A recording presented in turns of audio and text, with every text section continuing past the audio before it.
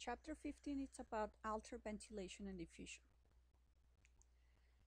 This is a view of the respiratory structure. So we have above the larynx what we consider upper respiratory structures, which consist of nasal cavity, nasopharynx, oropharynx, laryngopharynx, and the larynx or the voice box.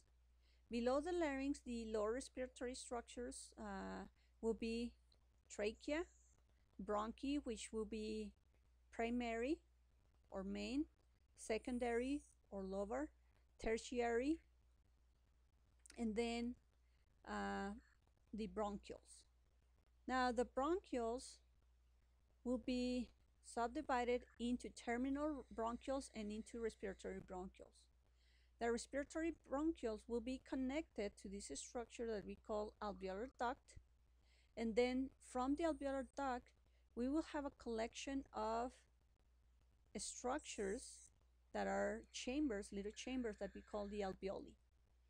And within the alveoli, we have surrounding it capillaries that are branches of the pulmonary artery.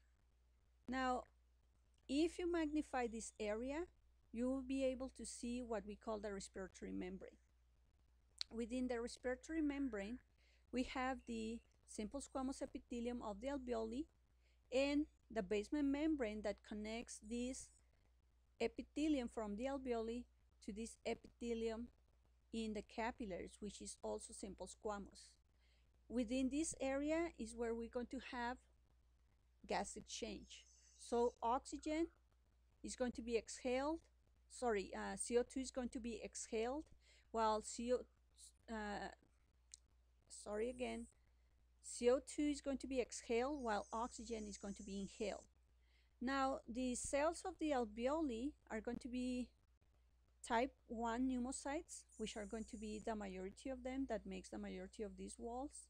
And then we have type 2 pneumocytes that secrete this oily substance that is called surfactant. This surfactant prevents the collapsing of these alveoli because there is a great surface tension in here. Now, along with this, we have these wandering cells, the alveolar macrophages, that helps to detect any problems within the alveoli. And then the diffusion of gas happens in here at a very fast pace if there is no problems within this respiratory membrane. Now the right lung uh, is subdivided into superior, middle, and inferior lobes, while the left lung is subdivided into superior and inferior lobes. So uh, pulmonary ventilation is the physical movement of air into and out of the lungs. And it consists of two phases, inspiration, during which the air is brought into the lungs, and exhalation or expiration, during, the, during which the air is expelled from the lungs. In order for us to have this happening, we have to have connections within these receptors in the lungs and the respiratory centers in our brain so we can have this uh, proper functioning. Along with this, we use muscles, respiratory muscles like the intercostal muscles and the diaphragm. So in inspiration, the air will move from the atmosphere into the into the lungs. So the lung volume in this case is going to increase and the intrapulmonary pressure will decrease. And in exhalation, the lung volume will decrease and the intrapulmonary pressure will increase. Why is this change in volume happening within the lungs? Well, because it's related to the difference of pressure between the lungs and the atmosphere. In the atmosphere, we have a pressure of around 760 millimeters of mercury, while in inspiration, we will have 759 millimeters of mercury, or what we call minus 1. So since the pressure in the atmosphere is greater than in the lungs during inspiration, the air will move from the atmosphere into the lungs, and it will occur vice versa during exhalation. So the intrapulmonary pressure is going to increase, so it's going to be one millimeter of mercury greater than the atmosphere, or what we call plus one. So you have movement of air from the lungs into the atmosphere. Now, uh,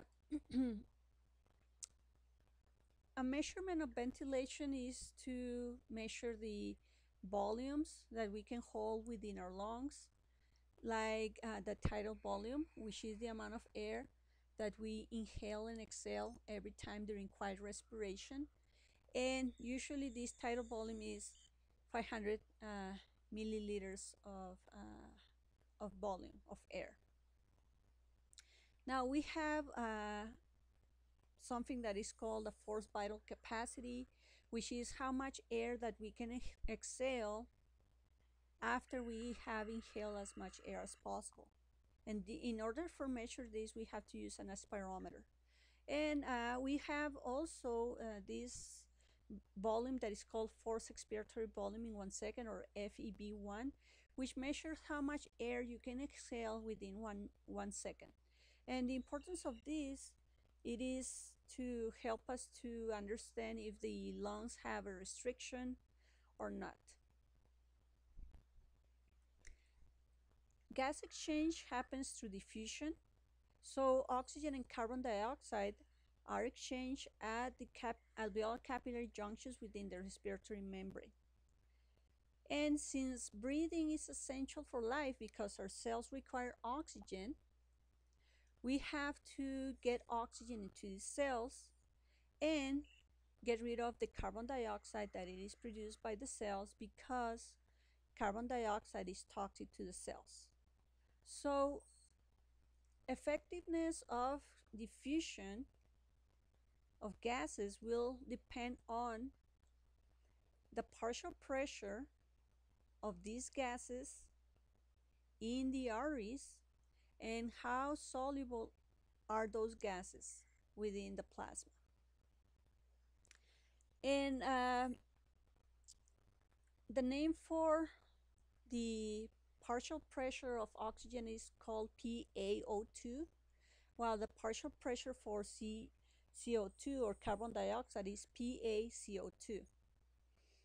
And also diffusion will depend on the thickness of this respiratory membrane that, that we saw in that diagram. If the respiratory membrane is very thick, the oxygen and CO2 diffusion will be so slow. So that's why we have in both uh, membranes, the uh, or sorry, both uh, parts of the membrane in the uh, alveoli alveolar epithelium and also in the capillary epithelium. That's why we have simple squamous epithelium, the most thin epithelium that we can have, so we can have fast diffusion of these gases. And also depends uh, the diffusion on the amount of membranes that you have in the surface area. We have around uh, 1,000 uh, square inches of respiratory membrane. So if someone lost this respiratory membrane, there will be less diffusion happening. So for the partial pressure, it is created by the collision of oxygen and carbon dioxide molecules within the fluid where they are found. In this case, it's going to be arterial blood. And again, uh, this is the name for partial pressure of oxygen, PaO2, while the partial pressure of CO2 is PA, PaCO2. And this is measured in millimeters of mercury. Usually, the partial pressure of uh, arterial oxygen is almost 100 uh, millimeters of mercury. And the partial pressure of carbon dioxide, it is 45 millimeters of mercury. Now, uh, this partial pressure that, that we saw before in this slide is the amount of oxygen and CO2 that it is found uh, dissolved in the plasma. But oxygen can be also found in hemoglobin, attached to hemoglobin molecules inside the red blood cells. So in this case, when you have attachment of these oxygen molecules into the uh, hemoglobin, you would call this HbO2 or oxyhemoglobin. And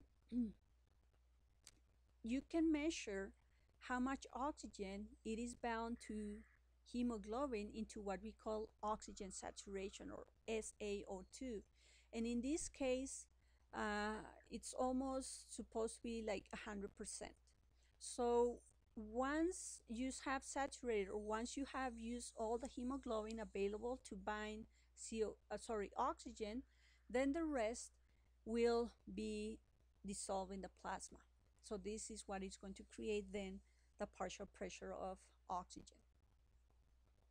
Now, carbon dioxide is a waste product of the cell metabolism and it is released by the cells into the bloodstream. And it will be dissolved in the plasma. But also, once the oxygen is delivered into the cells and hemoglobin is empty, the carbon dioxide now can bind into hemoglobin molecules. So hemoglobin molecules, you can see them as, as if they were a taxi that is uh, basically uh, carrying passengers and then bring them into the area where they need to go and then uh, uh, bring more passengers from that area where the taxi now is located. So it's a transport uh, protein. So when hemoglobin is not transporting oxygen, it's going to start transporting CO2. And then uh, CO2, once it binds to hemoglobin, the rest is going to combine with water and it's going to form carbonic acid. And carbonic acid is going to be dissociated and it's going to form bicarbonate ions. And then you will have hydrogen. So when someone has high levels of CO2 in their bloodstream, they will have high levels of hydrogen ions, which is going to be decreasing the pH, which we call acidosis. And the rest of the CO2 is going to diffuse into the plasma and it's going to make what we call the partial pressure of CO2. And then that CO2 is going to be diffused in the capillaries of the lungs into the alveoli so we can exhale it. Now, uh, we can measure the efficiency of diffusion by measuring levels of carbon dioxide, oxygen, and nitric oxide. You can give those gases to the person and then you can measure them in the uh, capillaries of the blood. However, at some point, uh, of course, it is not good to give someone, this is something theoretical uh, for some parts like this. Uh, you cannot give to one uh, carbon monoxide because you're going to poison this person. And also, if you give nitric oxide, you're going to create uh, vasodilation and hypotension in the person. So the gas that actually can be used to measure the uh, diffusion efficiency is going to be oxygen. So if you give oxygen to one person, 100% oxygen with a mask, and these oxygen levels do, does not go up, that means that there is something wrong with this uh, alveolar membrane or this respiratory membrane. So for uh, problems of ventilation, so problems of ventilation can happen because you have an obstruction in the air in the airways. And uh, this can be an internal obstruction or an external obstruction usually uh, when you have an internal obstruction can be something like a plug of mucus uh, like a tumor that is growing inside the bronchioles or it can be something uh, like when someone has aspirated a foreign body and it got stuck into the airways. Now, this is internal obstruction. So, external obstruction can happen as well, like when someone has a tumor, a, a, a cancerous tumor growing outside of the bronchi, but as this tumor is growing, it starts uh, compressing the bronchi from the outside. So that's one problem for uh, impaired ventilation. Another problem it can be that someone might have a disruption in the neuronal transmission that stimulates inhalation or exhalation. So, for instance, if someone has an accident and uh, has a whiplash and damages uh, the spinal nerves C3, C4, and C5, which makes the, uh, the nerve that innervates the diaphragm, the phrenic nerve. If this person has this damage to this uh, nerve, uh, phrenic nerve, the person won't be able to breathe. Okay, so uh, they, they or a tumor uh, within the medulla oblongata, within the pons, a stroke that damage the respiratory centers. All these things can lead to impaired ventilation. Now, uh, another problem that it can happen that leads to uh, ventilation problems is impaired ventilation perfusion matching. We're supposed to have always blood flowing around the alveoli in the capillaries. So this, this blood can diffuse the CO2 so that can be exhaled and the oxygen can be picked up by this blood so you can have proper oxygenation of this blood. And if you have no circulation because someone might have an embolism or obstruction of these capillaries in a way, there is not going to be any gas exchange. So ventilation is bringing air into the lungs. So you have to have match ventilation and perfusion. If you're bringing air into the lungs, but you're not bringing the blood supply into the capillaries, there is going to be a problem. So there's two possible scenarios then. The lung is ventilated, but it is not perfused, so there is obstruction of circulatory system, or the lung might be perfused, but not ventilated. How can this happen? Okay, you can have your capillaries normally bringing the the air, sorry, the uh, blood into the alveoli, but what if you have an obstruction of the bronchi or the alveoli, if you have a tumor there? So in that case, you are perfusing, you're bringing blood supply, but you are not ventilating. So this is uh, the consequences of what it can happen if you have this mismatching of ventilation and perfusion. So when you don't have ventilation and perfusion match, you will end up with hypoxemia, hypoxia, and hypercapnia. So hypoxemia is having low levels of oxygen in the blood Hypercapnia is having high levels of CO2 in the blood, and hypoxia is that your cells are starving of oxygen. All this is going to lead to acidosis and ultimately is going to lead to cell necrosis or death. Causes for uh, problems of ventilation will be bronchoconstriction, suffocation, drug overdose. Uh, sometimes some drugs like heroin can depress the respiratory centers, cervical nerve damage, like the one that I explained you, uh, problems with diffusion. So uh, you can have increased thickness of this uh, alveolar membrane, of, of this respiratory membrane. Or you can have decrease of the surface area. So examples will be when you have increased thickness, fibrosis, uh, when you have infection because you have inflammation. Also, uh, you can have fluid there uh, by any cause like uh, near drowning or someone has cardiac failure. In this case, you have fluid inside your alveoli, which you always supposed to have uh, air. So in this case, it's called edema. And emphysema is the destruction of the alveolar wall, so you have less surface area available for gas exchange. Examples of decreased uh, partial pressure or decreased solubility of gases will be when someone is in high altitude, when someone has hypothermia, or when someone has been deprived of oxygen. So now let's talk about impaired diffusion. So uh, it is the restricted transfer of oxygen or carbon dioxide across the alveolar capillary junction. This impaired diffusion will depend on, again, the solubility and partial pressure of the gas. So if you have low levels of oxygen, so a low PaO2, you don't expect to have so much diffusion. And then the surface area can be less than usual. So if you have less alveolar walls, you will have less diffusion or your membrane might be thickened by any way. In that case, you will have, again, impaired diffusion.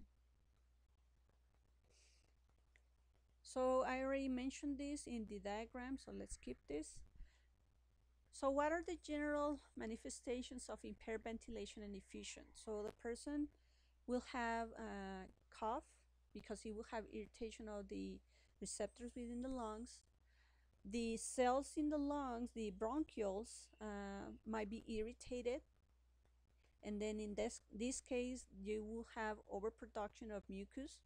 So in this case, the cough is going to be productive or sometimes you have so much inflammation that part of these capillaries will be eroded within the respiratory tract and then you will have blood going into the mucus and that when someone expectorated or get rid of it is called what we call hemop hemoptysis. Now the person will have difficulty in breathing or dyspnea or it can have what we call orthopnea in which the person cannot breathe really well when it's lying in supine position. Along with that, the person might have adventitious lung sounds like uh, crackles that pinpoints to having fluid within the respiratory tract. And the person, in order sometimes to overcome these difficulties in breathing, it will start using accessory muscles of respiration like the intercostal muscles, like the scalenes, the serratuses, and even sometimes they, they can use the rectus abdominis. Along with that, the person can have uh, a pleuritic chest pain and it can have changes in the diameter of the thoracic cavity. So you can have an increase in the AP diameter and the side to side diameter into what we call barrel chest. And along with that, the person can have uh, systemic manifestations like uh, fever, weight loss, night sweats, etc. In order for us to diagnose uh, respiratory problems, we can do PFTs with the spirometer. We can also measure the arterial blood gases, so basically will be PaO2, P, uh, PaCO2. Also measure the saturation of oxygen with pulse oximetry, which if it's less than 85%, the person will be cyanotic. That's another uh, sign, clinical sign of uh, breathing problems. Now, not everyone will have cyanosis in order to have a respiratory problem, but as long as you, when you, whenever you see someone who is cyanotic, that means that the person doesn't have enough oxygen.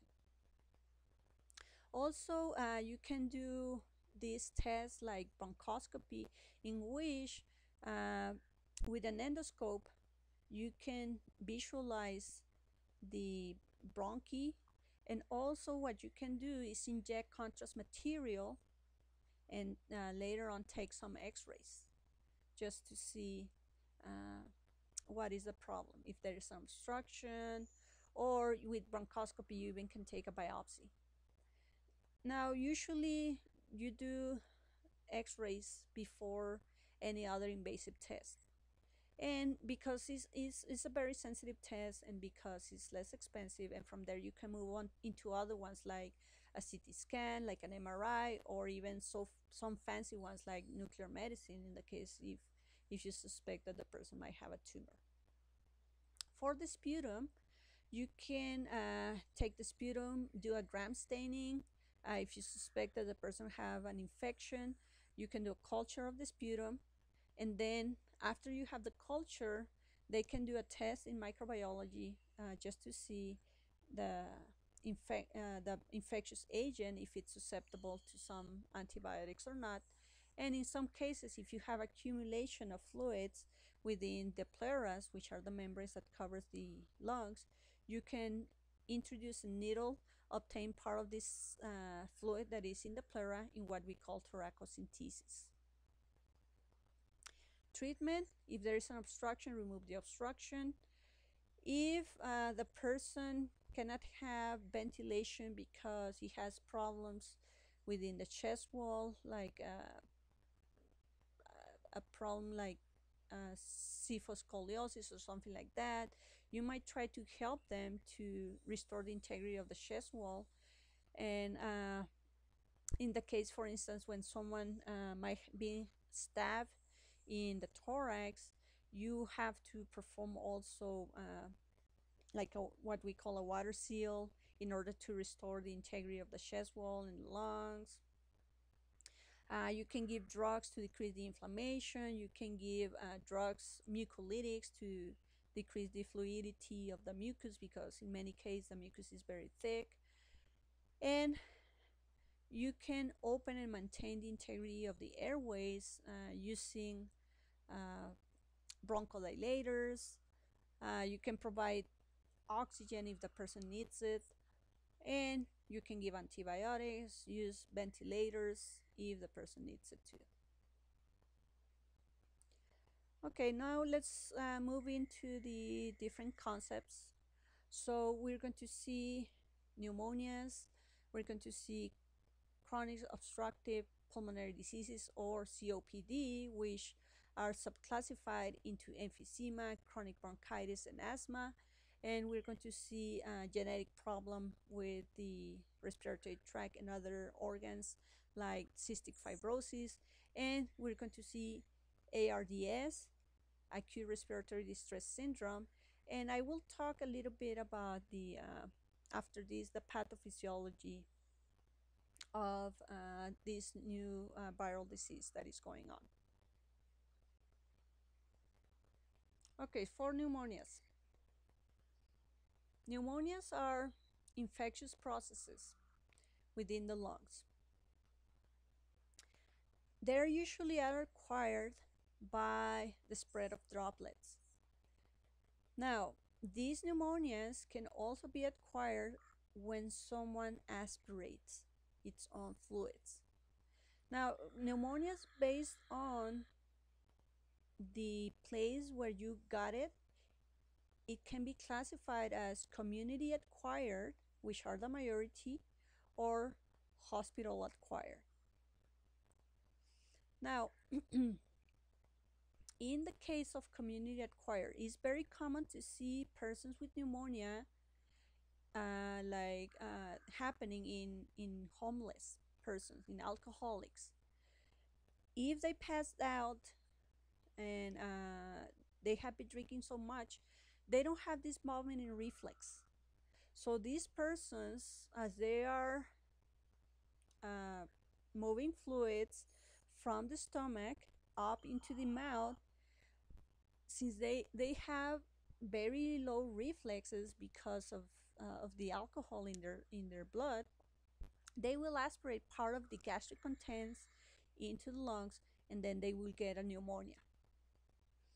Now, based on the etiology, on the pathogen, the pneumonias are usually classified as bacterial, as viral, or they can be caused by fungi as well, or even sometimes by parasites.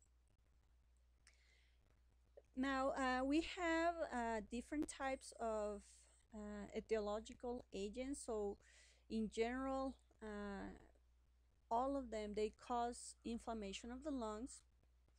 And the pneumonias can start the bronchioles and then they can spread into the alveoli. In this case, you call it bronchopneumonia.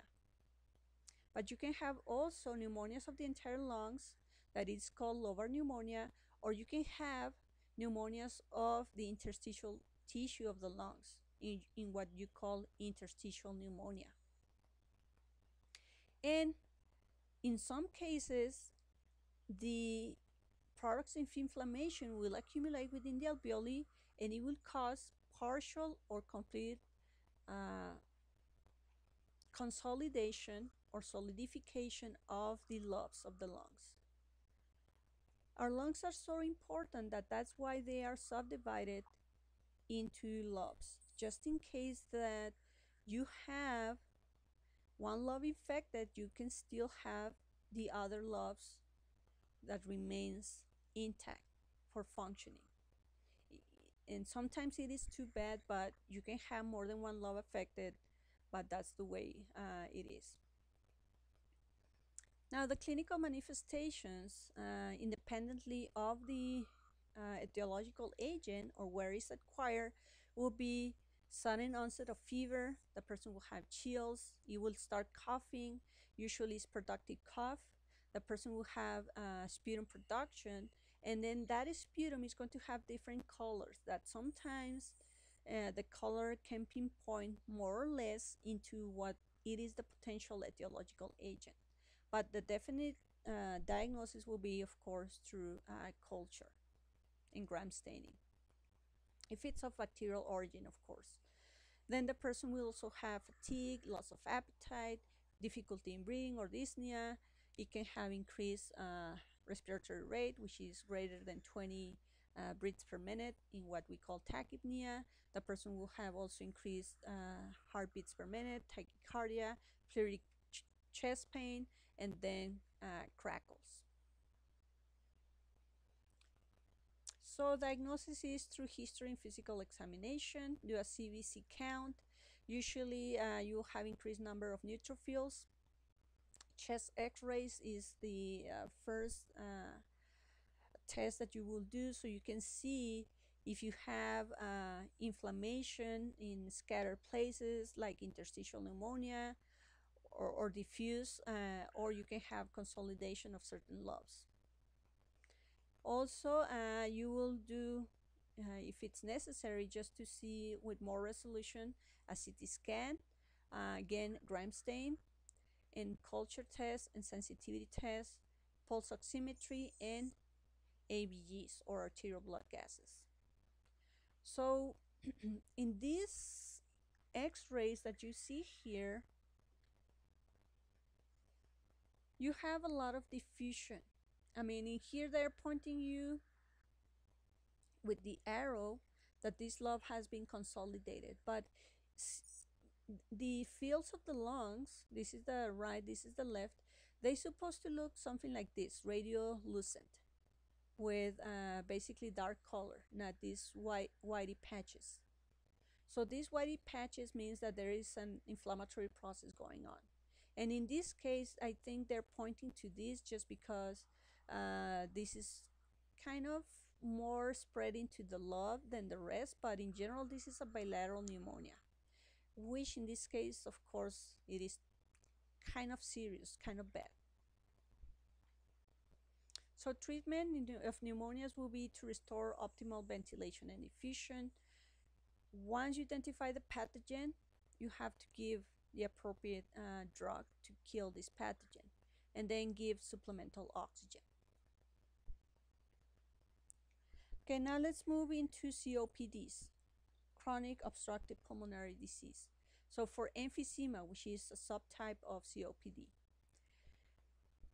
Emphysema is defined as an irre irreversible enlargement of the air spaces uh, beyond the terminal bronchioles. So basically, instead of having these clusters of alveoli that individually the alveoli will be separated by their own walls, you have fusion of at some point of these alveolar sacs.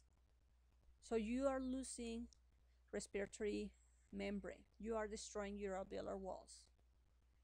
Or uh, you can have obstruction of the airflow. Usually the most common cause of emphysema is uh, chronic smoking. Uh, smoke, the components of smoke will attract neutrophils and macrophages. When you attract neutrophils and macrophages and they detect these different chemicals in smoke, they will start releasing enzymes. These enzymes are proteases, elastases that are going to start destroying the uh, the alveolar walls. Now, other causes will be like genetics. There are people who has uh, this deficiency of a protein that is called alpha-1 antitrypsin that prevents elastase to break down the elastic tissue in our lungs. And in this case, the type of emphysema is going to be different than the one for uh, chronic smoking. Plus, in many cases, of course, the person won't have the history of having smoked and still have emphysema. Now, at some point, think about this. What if someone has genetics for having emphysema plus the person smokes? Will this make it worse? Worse?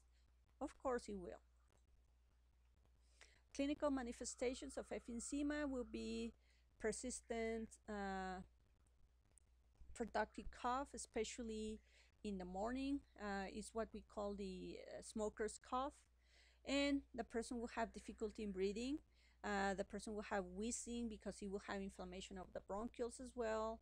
And the person will have a change in diameter of the uh, of the chest. So this is the normal AP diameter in this cross section for a normal person.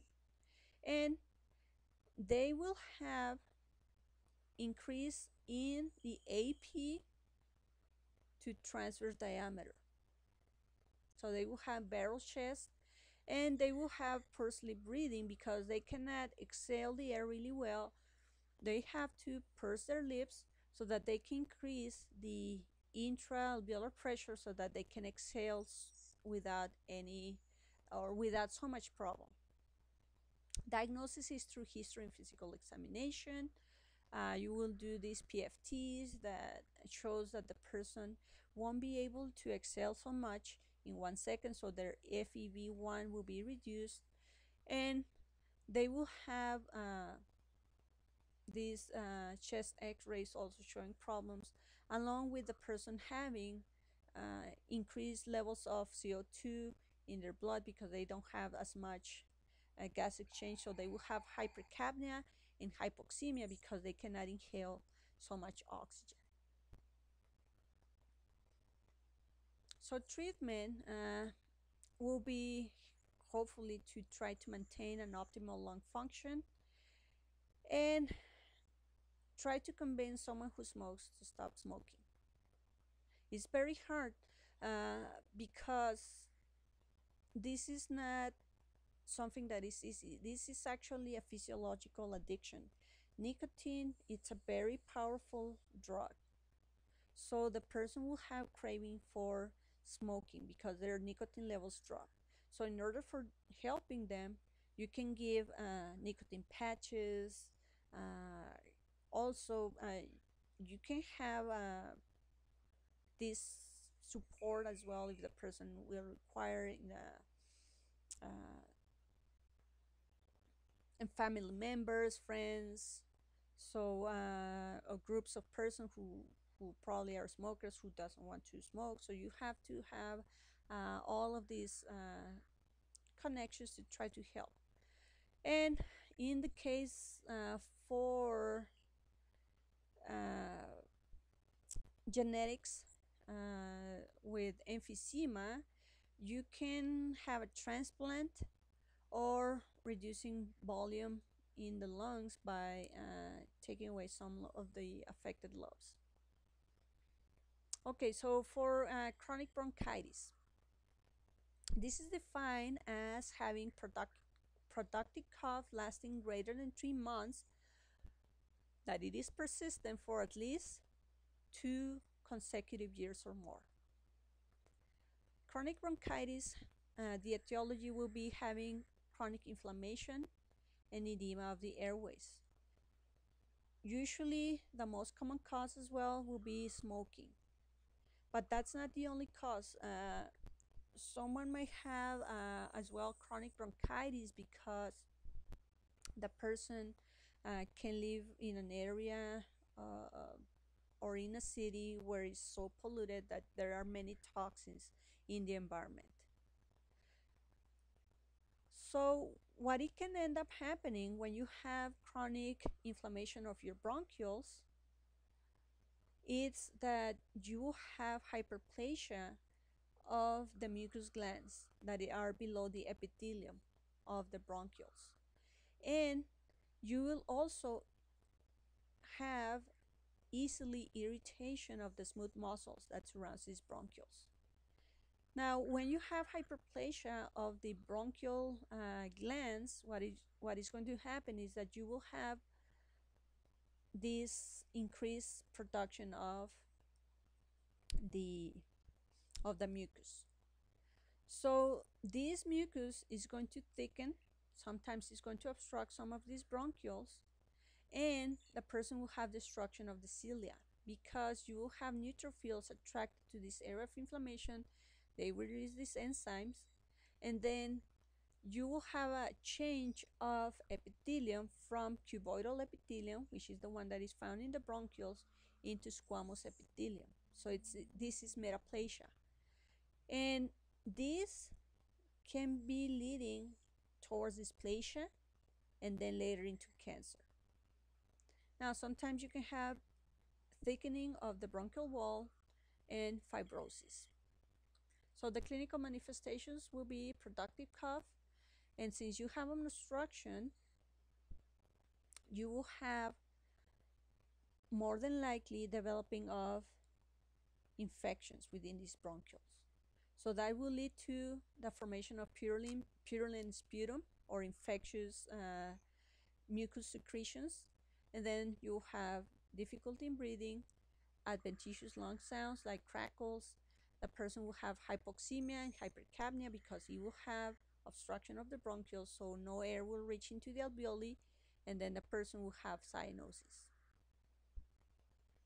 Diagnosis is through history and physical examination. The person will tell you, know what, I have been having this uh, chronic cough or cough for more than uh, three months uh, in two consecutive years, and then uh, you will start doing your ABGs, uh, your PFTs, pulse oximeter, and then uh, you will have a culture analysis of your sputum through gram staining.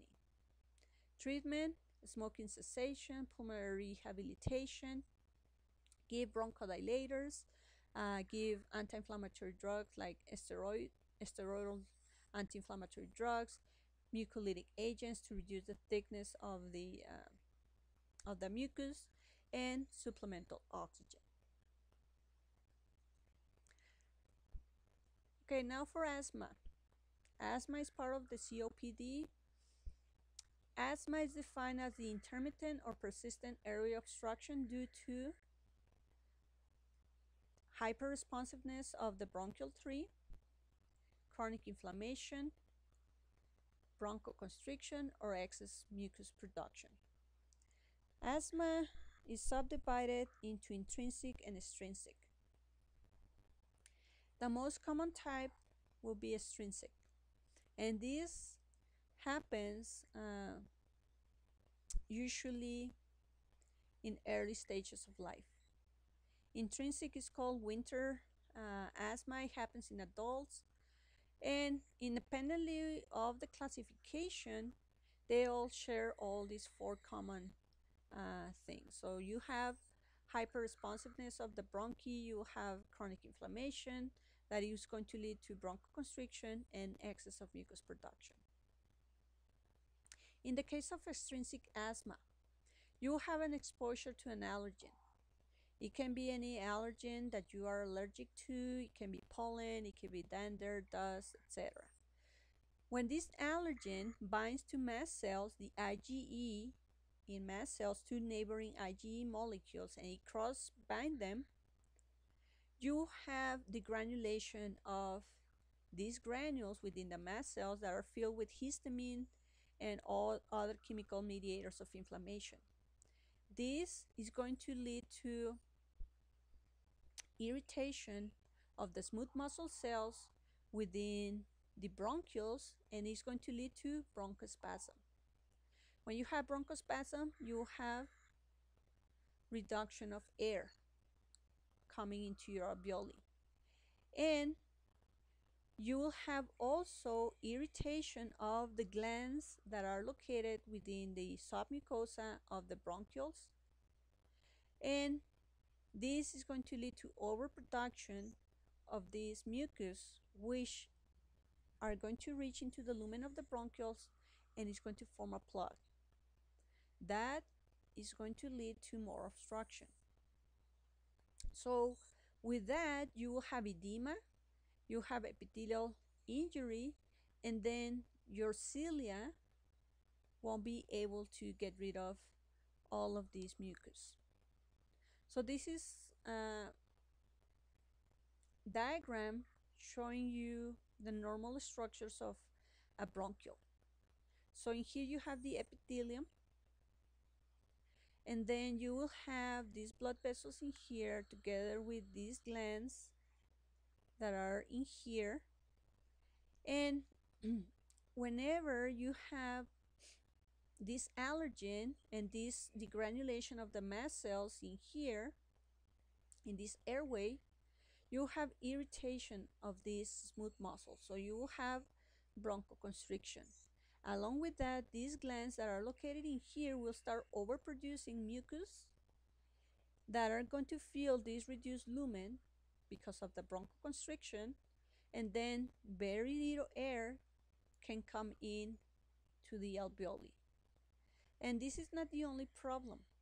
So air can still come in, but since you have to make this air to be exhaled through a narrow lumen, you have one of the classical clinical manifestations of asthma, which is wheezing. So clinical manifestations of asthma will be wheezing, tachypnea, dyspnea, and coughing. The person will have a sensation of suffocation, so you have chest tightness. And because of this sensation of suffocation, the person is going to be anxious and you have excessive sputum production. So diagnosis is through history and physical examination, so you can uh, tell uh, what is the allergen that is causing the problem, also what is the subclassification of asthma.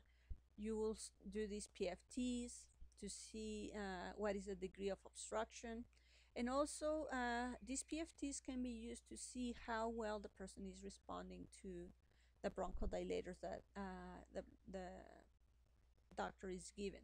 And then you will measure ABGs in which uh, basically the person will have uh, low levels of PaO2 and high levels of PA, PaCO2, pulse oximetry, which shows you that the person will have reduced saturation of uh, hemoglobin with oxygen, chest x-rays uh, to see just in case that you have any obstruction or sorry, any uh, co-infection like pneumonia and uh, spirometer, which is going to basically a spirometer uh, is going to be part of the PFTs.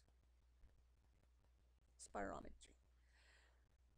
Treatment, monitor lung function, control environmental triggers, uh, give uh, pharmacological therapy like uh, stabilizers of the membrane of the mast cells, antihistaminic drugs, bronchodilators, steroid drugs to reduce inflammation, and uh, give education to the patient and the family because this is a medical emergency. When you have an asthmatic attack, the person actually can have severe hypoxia that the person can even die.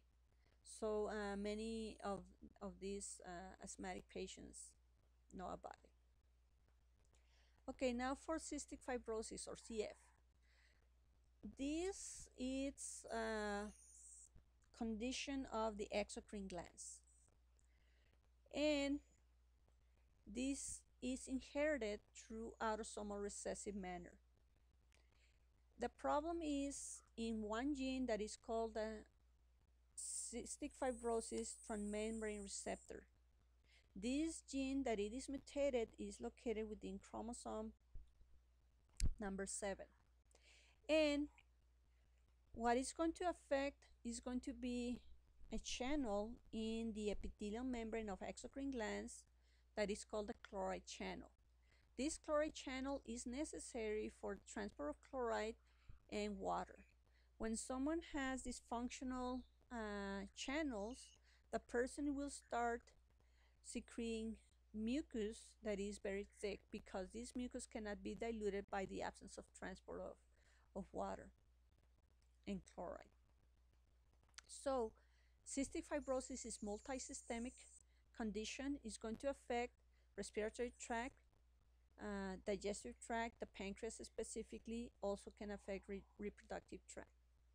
And it affects more uh, white persons.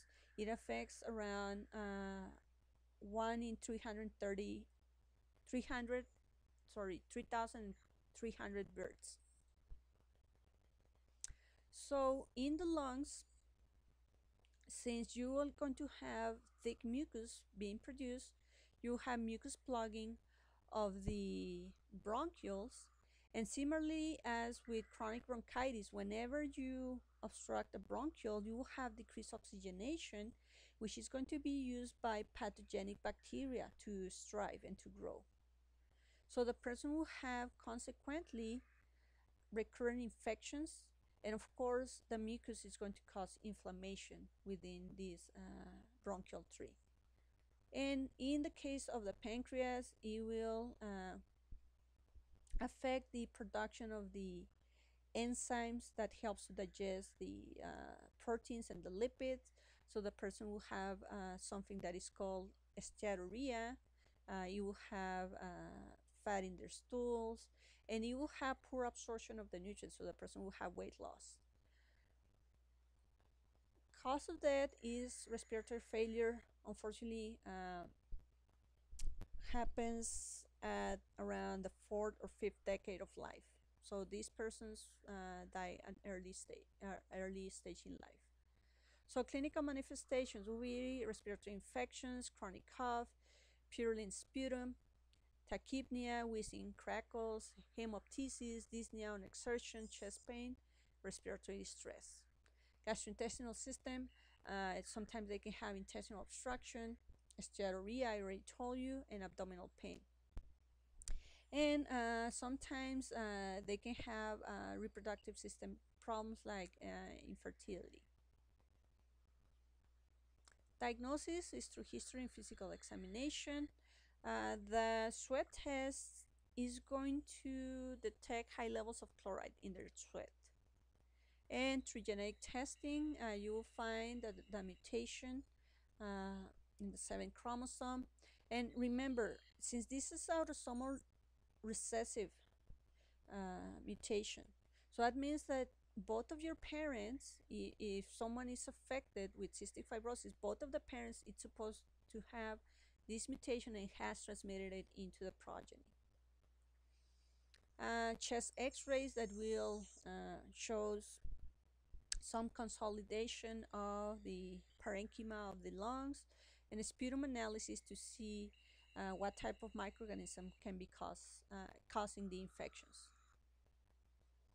So the treatment will be chest physiotherapy just to help the person to have a clear respiratory airways, uh, pharmacological treatment like uh, mucolytics, lung transplant if it's possible, and uh, gastrointestinal system give optimal nutrition and supply the pancreatic enzymes like uh, lipases or proteases like trypsin, chymotrypsin. Okay, so the last concept it's ARDS, acute respiratory distress syndrome.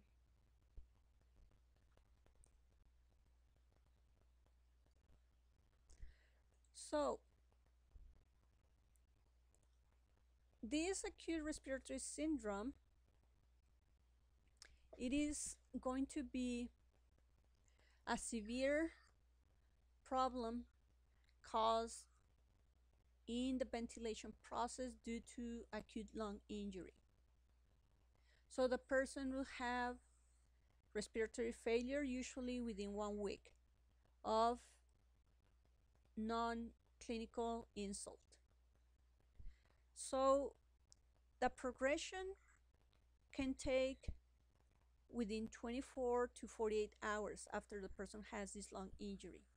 And the person is going to have severe acute inflammation of the alveoli and the person will have accumulation of fluid within the alveoli or pulmonary edema. Remember, the alveoli, they supposed to be filled only with air, not with fluid. And uh, this edema or this accumulation of fluid is going to happen without the evidence of impaired cardiac function or without evidence of fluid overload. Like when someone has an IV line and, and having extra fluids put into their body. Now this, uh, this problem is very serious. It can lead up to uh, 30 to 40 percent uh, mortality rate because it will have affection of other organs if this uh, problem is not treated.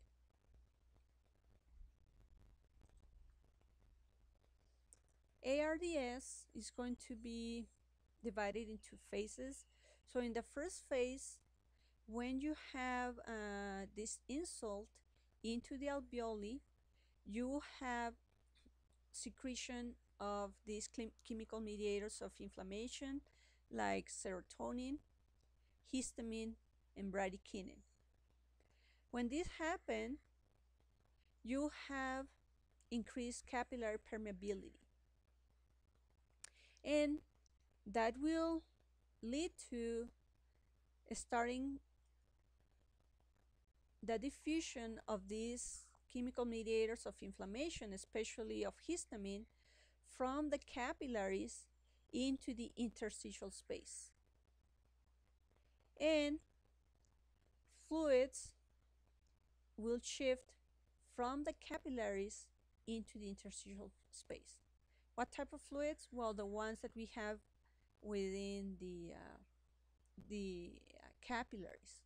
Like we will have what we call edema fluid and you will have uh, proteins like fibrin that is going to start accumulating here and you will have attraction because of this in uh, this other phase of which is number three attraction of neutrophils and macrophages because they will find these uh, fibrin layers in here coming from the fibrin that we have in the capillaries so as these capillaries in phase 3 have increased permeability, you have more fibrin deposit and fluids like plasma fluid coming in here and then you can see accumulation of this fluid in here.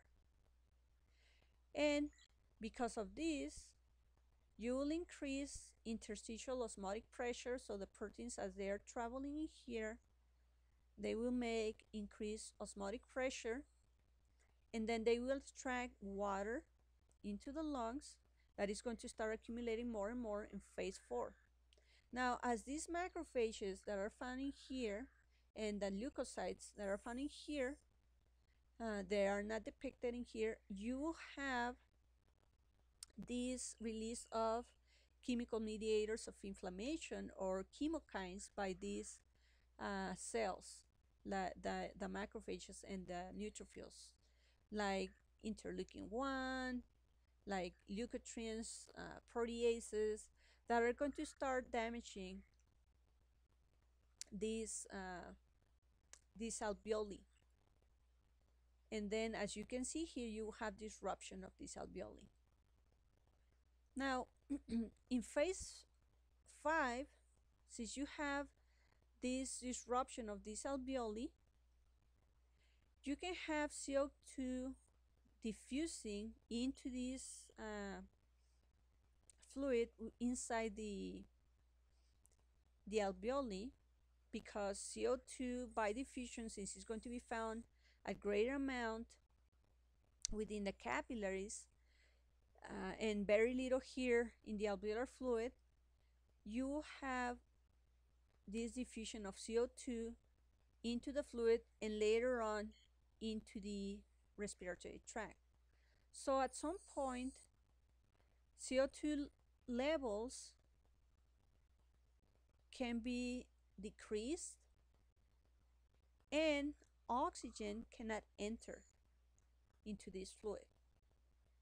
So why CO2 can enter into this fluid but not CO2? Well, CO2, the partial pressure in the atmosphere is not going to be so high. And, uh, sorry, oxygen, the partial pressure in the atmosphere is not going to be so high, so there's not going to be any diffusion of oxygen into here. And CO2 in general, it's more soluble as a gas than oxygen. So because of this, then you have hypoxemia. And then in phase four, you have more retraction of the alveolar wall and more damage to the alveolar wall, and then you have more accumulation of fluid.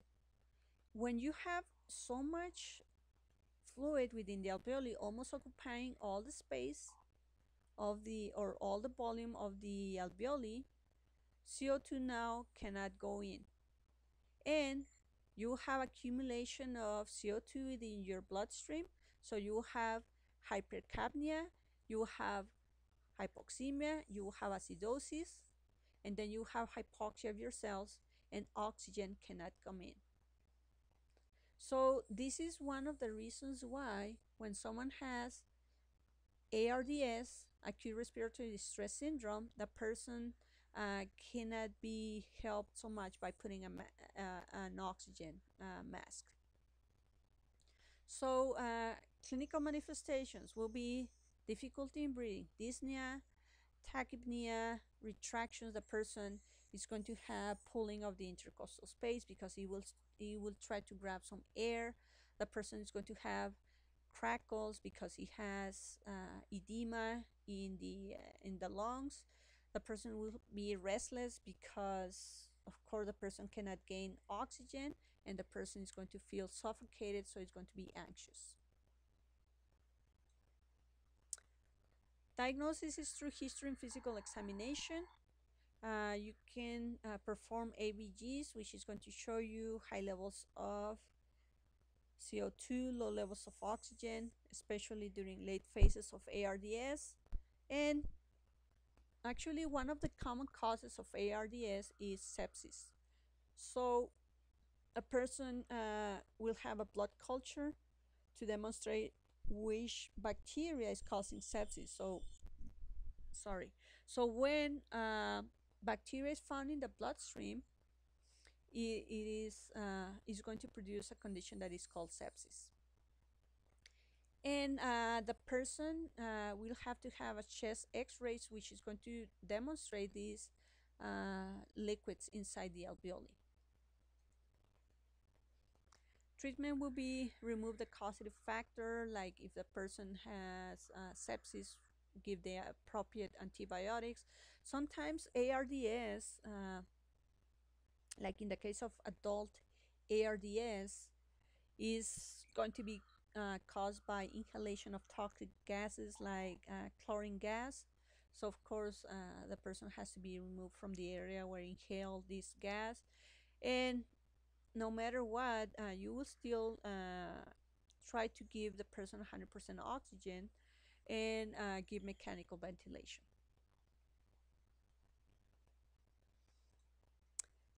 Okay, so before then we end. Um, acute respiratory distress syndrome, we have uh, two subtypes. We have the adult, which is the one that we talk about in here, but we also have in children, in neonates. Uh, this can happen in neonates due to the lack of production of surfactant. So type 2 pneumocytes produces this oily substance, this surfactant, that prevents the atelectasis or collapsing of the alveoli or the lungs. This surfactant is starting to be produced around week 23 in utero.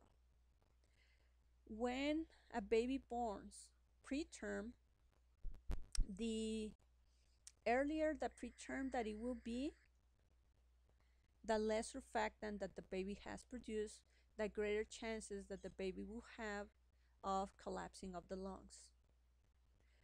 Signs and symptoms are similar to the ARDS and including uh, will be the, the baby being cyanotic uh, and it's not shown in these uh, clinical signs and symptoms for the ARDS in, in the adult type, but it's basically the same. So we will have the same signs and symptoms, we will have cyanosis. The only thing is that in ARDS of the adult, you still have this uh, functional uh, or this normal production of these pneumocytes. So the absence of, sorry, of this, uh, uh, this surfactant. So in this case, the etiology for ARDS in the adults is not the lack of surfactant. It is damage to the alveoli because of these insults. This ARDS also can be given by a physical trauma into the thorax.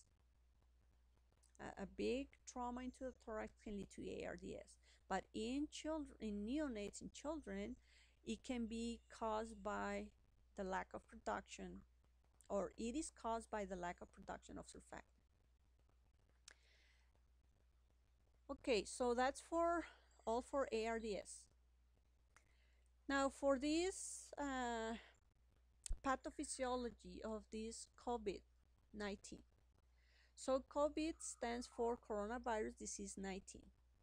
They give this name to this disease that is caused by coronavirus, one of the types of coronavirus, because um, that's the way that nomenclature goes. So they put corona, co, vid, virus, d, disease, 19 because it was discovered in 2019. Coronaviruses are family members of the of the members of viruses that are morphologically classified as corona. Why they are classified as uh, corona? Well, because outside of the membrane of the coronaviruses, this is an enveloped uh, virus there are some spokes that looks like the crowns of certain kings or the crowns of the sun, the corona of the sun. So these spokes have a protein that binds to receptors within the respiratory tract. The receptors are receptors found in the alveoli or other parts of the respiratory tract, but in the alveoli, you have this uh, angiotensin convert, converting enzyme 2 that's where this uh, virus binds. And once it binds to these uh, receptors the virus is going to be endocytosed into the cells into the alveoli into the alveolar cells. It will be type 1 or type 2 pneumocytes and it will start replicating inside these pneumocytes these viruses are RNA viruses. They have a helical nucleocapsid. If you remember, I explained that in the viruses, you only have one type of nucleic acid. It's either RNA or DNA. In this case, this is RNA. And this nucleic acid is protected by a series of proteins that are called the nucleocapsid. And then this nucleic capsid in the coronaviruses, it has a spiral shape. So when the virus is endocytosed by the cell, it will uncoat inside the cell and the nucleocapsid is going to be disintegrated, it's going to release the RNA, and then uh, some enzymes as well are going to be released into the cells. And then this virus is going to use the machinery, the ribosomes, and the other uh, structures within the cytoplasm of the host cells to start making copies of themselves. Once it starts making copies of the cells, the virus will release these particles into the airways. And these particles can infect nearby cells. So it's going to spread the infection within the airways, within the alveoli. And also, it can shed particles into the airways so that they can be coughed. And then through droplets, this virus can spread. Now, in general, uh, when I'm talking about disinfection at the alveolar level, I'm talking about when this virus has gone from the upper respiratory tract into the lower respiratory tract. In not all the cases, it will start uh, producing this severe infection going into the lower respiratory tract. So when it goes into the lower respiratory tract, it will cause this inflammatory process similar as to what we talk in here in the ARDS. So basically, it, coronavirus virus infection, the one that we have right now, is going to cause an acute respiratory distress syndrome. And the person will have destruction of this alveolar membrane. The person is going to have lack of oxygenation. So the person is going to have, in the case of serious cases, uh, dyspnea, coughing, fever. Uh, the person will have this uh, hypoxemia, cyanosis, and it will require uh, treatment, mechanical ventilation, and then all the treatment protocols that they're using right now. Now, why in some persons causes this and why not in others? Well, it depends in not only the age but also pre-existing conditions. So if the person had uh, lung problems like chronic bronchitis, if the person smoked, if the person had emphysema, of course the person will have more susceptibility of, uh, as well if the person is immunosuppressed. So in many cases that are serious for this COVID-19, it's because the person has pre-existing conditions. And then you can have asymptomatic cases in which the virus just is confined to the upper respiratory tract and the person will still shed uh, the viral particles into the uh, environment and the person uh, will have the potential to infect others if the person doesn't isolate itself. Is there a way to know when the person uh, is asymptomatic, if the person has uh, this infection with this virus? Of course, through these uh, tests that they are performing. Now, the tests are not 100% uh, specific or sensitive. So there is a chance of having false negative uh, results as well as false positive results.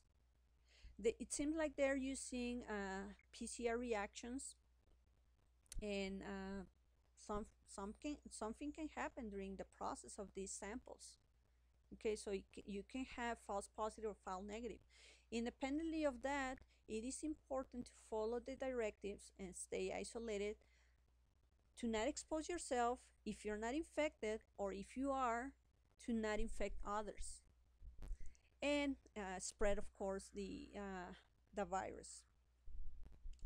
Now uh, this virus itself the strain of virus that causes COVID-19 is what we call SARS-2 so this is severe acute respiratory syndrome virus type 2 there used to be a SARS-1 that they discovered in 2003 that causes severe uh, respiratory distress.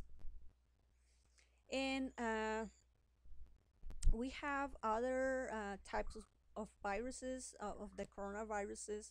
We have like around five, and some of them, they are confined only to the respiratory system, while other ones uh, they can affect also the gastrointestinal system and that's why some people uh, they can also shed the virus through the stools including this one Now, what I read uh, is that this virus is RNA virus. This virus uh, replicates through an enzyme that is called the RNA polymerase enzyme. And this RNA polymerase enzyme, as it's making copies, new copies of the virus, it can make mistakes in the uh, uh, order of the bases as it's replicating this virus, so it can produce mutations in the genome. So what it means is that this uh, virus as it's replicating copies, the copies are not going to be exactly the same as, as the ones that were originally infecting the patient. That poses a problem that, uh, first of all, that can be the actual cause of why we have this emerging disease. As this virus was making copies of themselves, mutations, these mutations can have fall into one of the areas of the viral genome that make this virus to be more aggressive. And um, because of this, it is hope for us that they develop a vaccine, but this vaccine might not be effective. It's like what is happening with HIV infections uh, HIV RT uh, reverse transcriptase enzyme, it also makes mutations as it's making new copies of this uh, RNA in the virus. So the person won't have the same virus type that originally infect the person, it will cause mutations. So that's why they still haven't developed this HIV uh, vaccine. So no matter what, it is important that once they develop this vaccine, they might have a strategy that make it effective and it's important for everyone to to to try to have it. Uh, in the case of uh, for in, for instance in the case of uh, the the flu virus influenza so in influenza you have a segmented genome for RNA in this case for the coronavirus is not segmented, it's linear. And in the case of influenza, you have pieces of RNA swapping to each other and you have what we call rearrangement. And that's why you have mutations and every once in a while you have pandemics of influenza. But uh, in the case of this uh, genome for coronavirus, is different because you have direct mutations along a linear RNA. And uh, I think from my perspective that that is going to make it difficult for developing an effective vaccine. No matter what, we still can have the choice to to have this uh, vaccination hopefully more functional than not available and then you decide to take it or not. So, uh,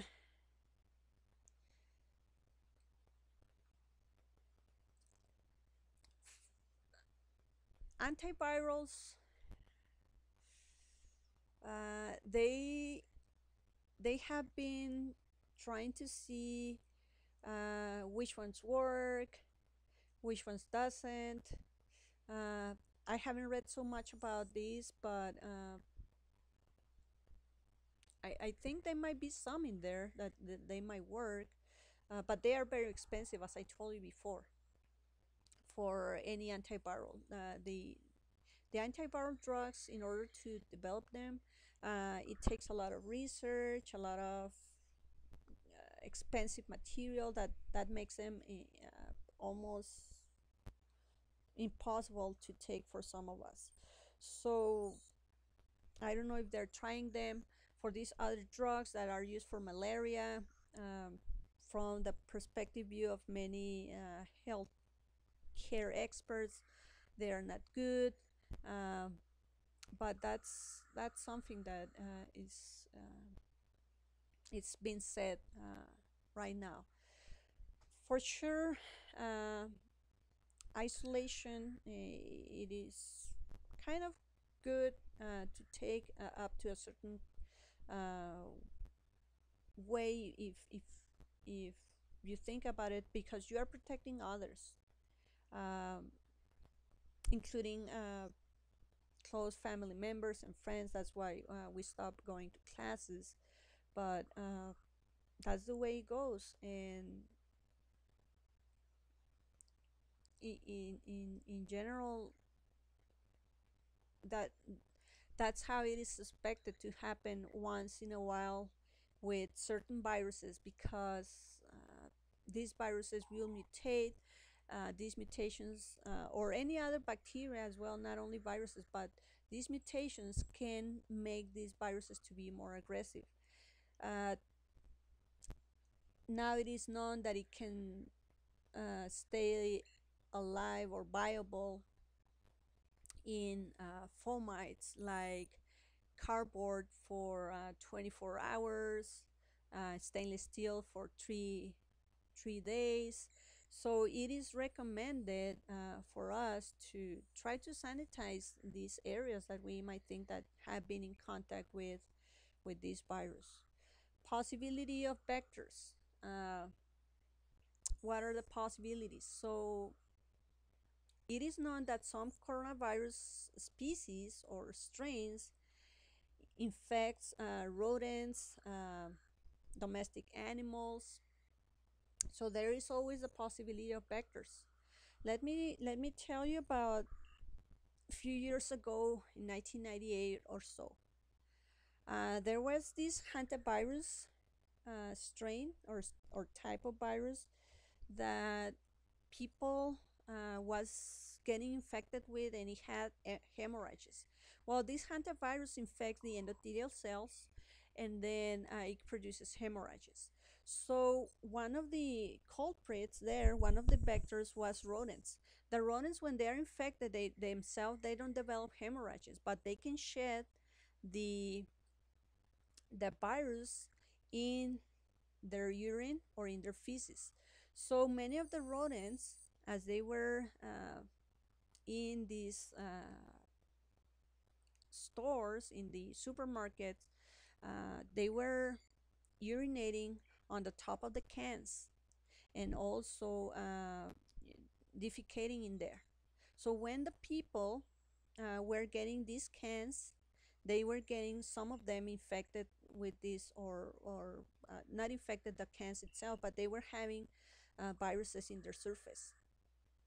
So whenever they didn't clean it and they consumed like a soda or they were opening with the can opener their uh, product and part of this lid uh, contaminated the product itself, the person got the hantavirus and then he had the infection.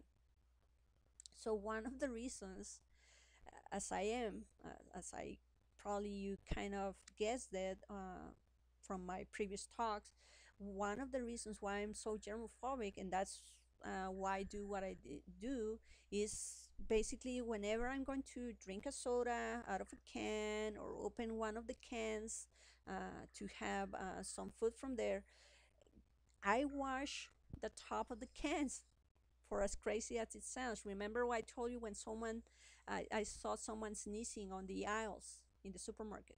I just go away from that area and get the product the next day.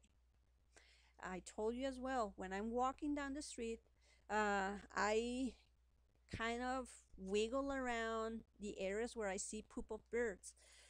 Here in the Southwest, it is not known, but in some areas of United States, the birds have a bacteria that is called histoplasma. It can be shed in the poop of the birds, in the droppings, and then the person can have this uh, sorry this this fungi it's histoplasma so this fungi can go into the lungs of the person and infect the person i told you if i if you see me walking uh, swinging on the street it's not because i'm drunk it's just because i'm avoiding to step in the uh, in the uh, droppings of birds so uh, many of these things you will get with time. Uh, follow the recommendations from the CDC, uh, the recommendations of the state of try to avoid public places, large gatherings, wash your hands. Uh, if you are working as a healthcare worker, you come back home from taking care of patients, why don't you do probably what you do uh, as well? Like, or if you don't do it, just take off your clothes, wash them on the washer, dry them, and then uh, you don't uh, run the risk of being uh, in contact with uh, this or well to to be in contact with contaminated clothes. Uh, I wish that I could tell you more of the crazy things that I do to uh, avoid infections, but probably it's, it's too crazy. But anyway, so I hope that you enjoyed this uh, this this last part, especially of the talk, and uh, email me any questions that you might have. Okay, so this is the end of this video lecture. Have a good day or have a good night, some of you. Bye bye.